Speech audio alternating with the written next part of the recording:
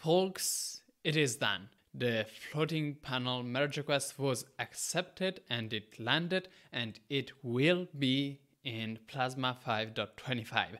It is certain at this point. And to make you fully understand how important this is, these are all of the videos that I published talking about the floating panels. The first one is from back 27th of April 2021. It's more than a year since I started working on this. And it's rather important that I finally finished and it is over, it is done, it is implemented, and I hope that you're proud of me to some extent. To some extent. And I also feel like I wanted to ask you something because I think I've done everything right. I have not been the quickest, quickest, but uh, I've said I'm going to do my best to implement floating panels. I did. I've worked through it for more than a year. I've done uh, regularly videos talking about the progress, what was happening, also going very in depth about the technical side of uh, this uh, merge request, as I will do in this video as well. So I wanted to please ask you if you could do a small donation to my channel because yeah, it's, it's been a year and I'm doing this in my free time. It took hours and hours and hours of work. So I have a Patreon, I have a PayPal, a Liberapay if, if you prefer, if, uh, since that's for open source. And uh, uh, also thank you to all of the people who has donated already to the cause. I've received many messages saying uh, thank you for working on this. So I'm super happy that I managed to do this, and uh, hopefully you're happy too. Maybe you don't care at all, but nonetheless, I am happy. So let me let me actually explain how we reached this important point. So I don't know if you know, but uh, KDE Plasma has what's called release free um, feature freeze, sorry, uh, which is a day after which you should not land big um, merge requests with new features such as the floating panel. So even though Plasma 5.25 is still more than a month from now, uh, today was like the strict deadline.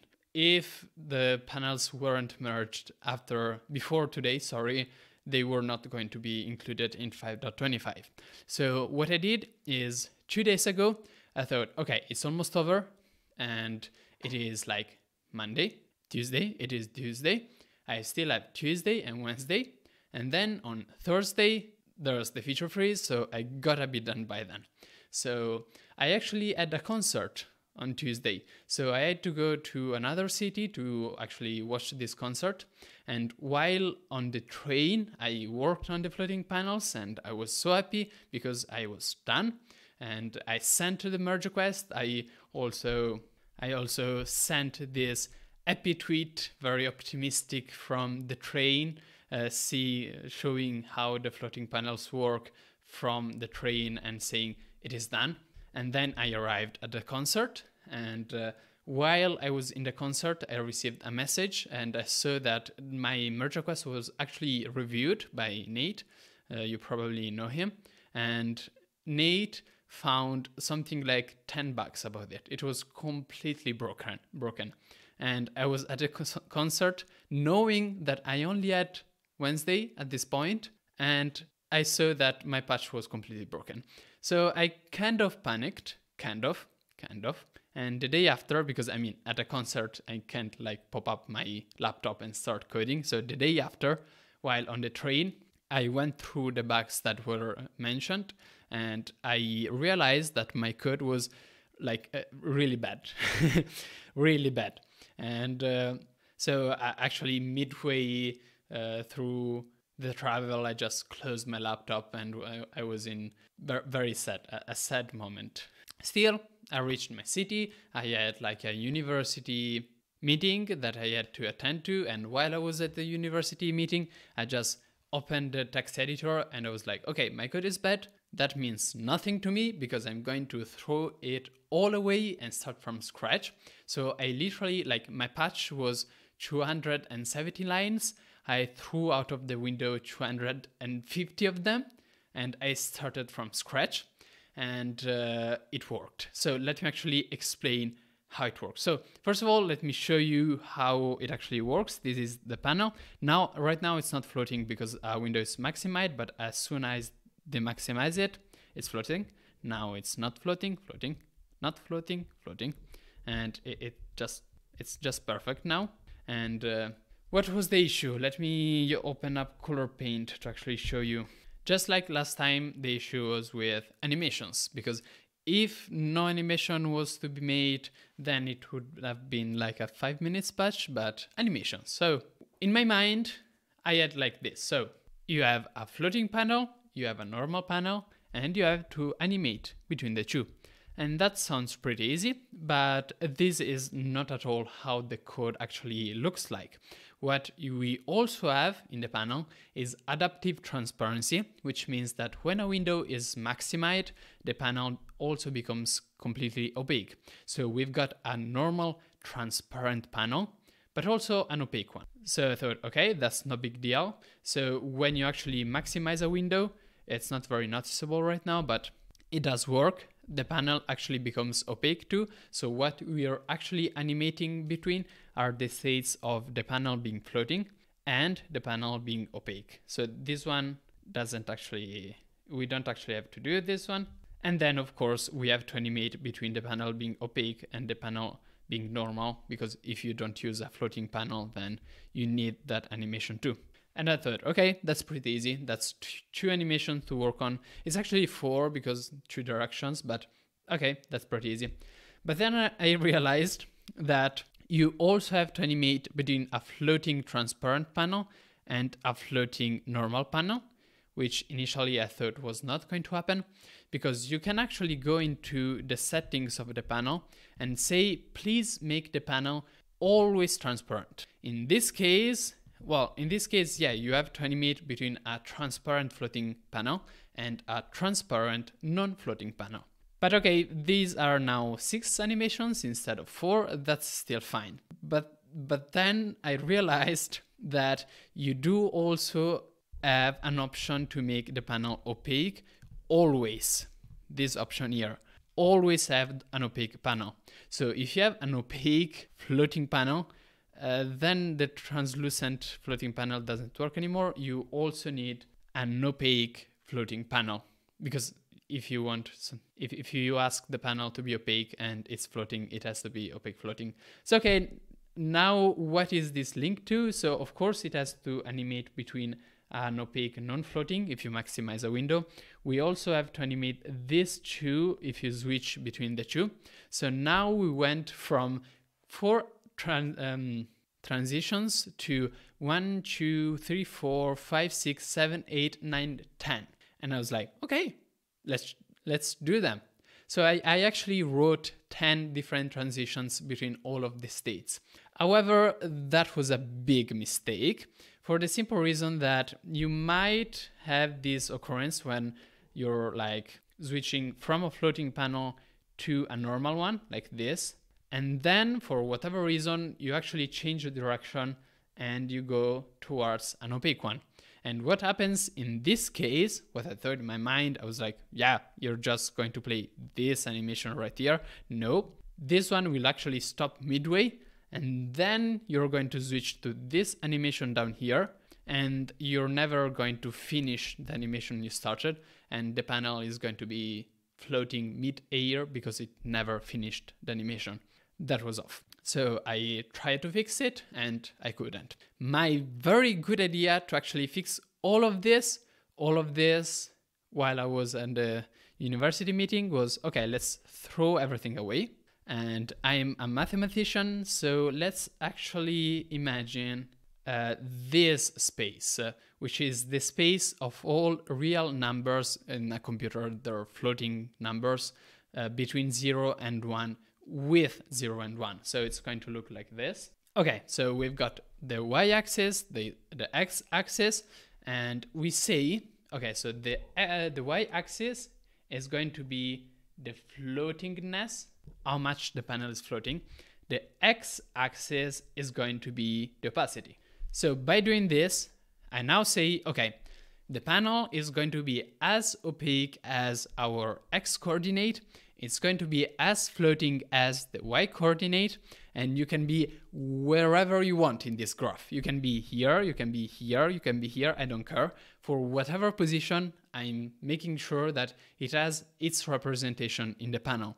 And how do I do that? Well, simply enough, I put uh, inside the properties of the, as an example, opaque uh, panel, opacity is X, floatingness is Y and that's it. So now if we are doing anima an animation from here to down here and we have to change direction, there is no issue.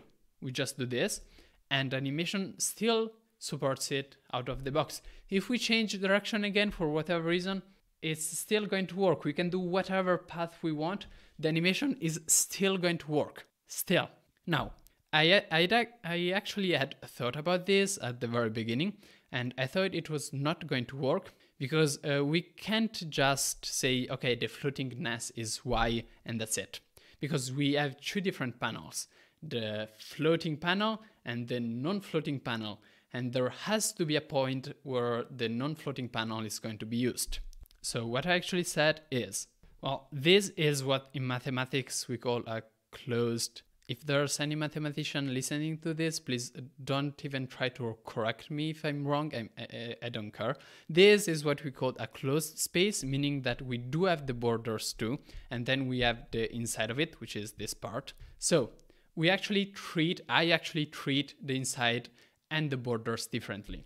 If we are inside of here, well, if we are there, I actually, I actually draw floating transparent panel and the floating opaque panel.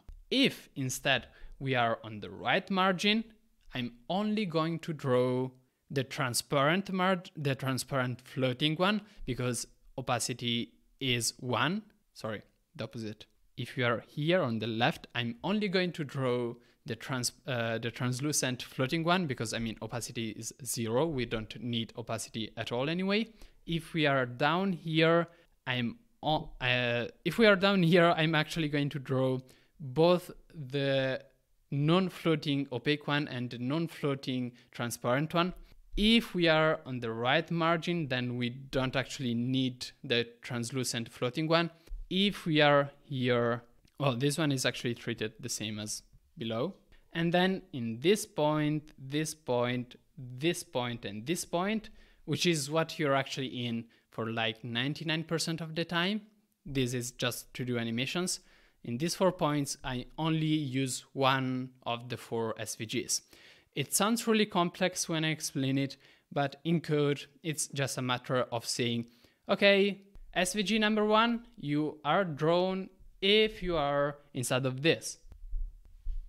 This is a notation to say from 0 to 1 multiplied uh, by from 0 to 1 but this 0 is not included and this one is not included. So if the x value is 0 or the y value is 0, then you're not inside of this. And then there's various combination of this depending on where you put your parentheses. And I give one of these to each SVG and this corresponds to an area of my bigger space and if they are inside of that area, they're going to be shown.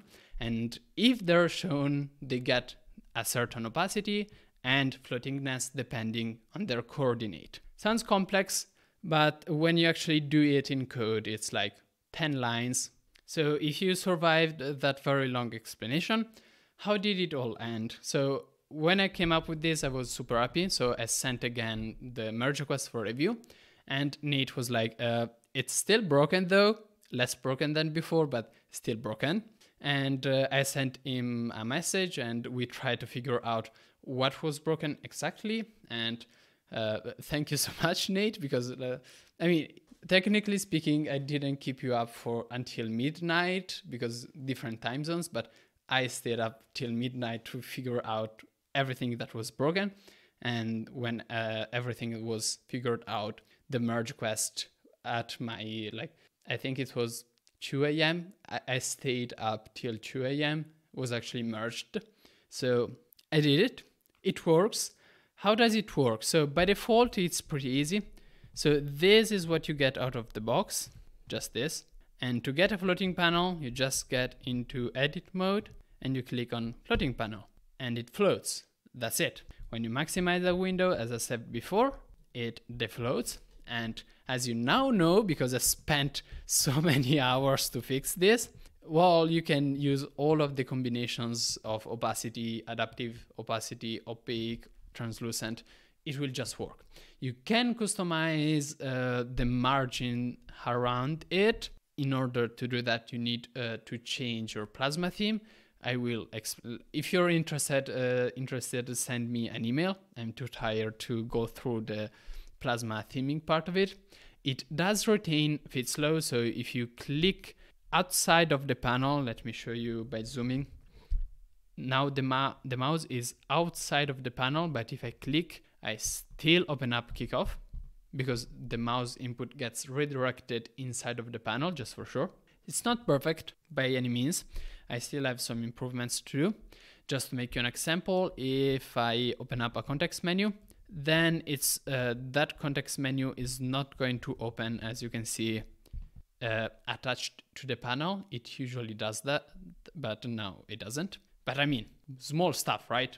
Also, the applets look slightly broken, slightly. I'm working on another merge request to make floating applets, so that's coming too. And what else? That's everything. Really, really, if you want to, if you like this kind of features, if you want me to continue working on this and do the videos and everything, again, it's my free time and uh, I have to just justify some it somehow. I currently don't have any kind of part-time job and fun fact um, my girlfriend does and my mother makes fun of me for not having any kind of job uh, whilst my girlfriend makes lots of money. So subscribe to my patreon to uh, stop my mom being angry i guess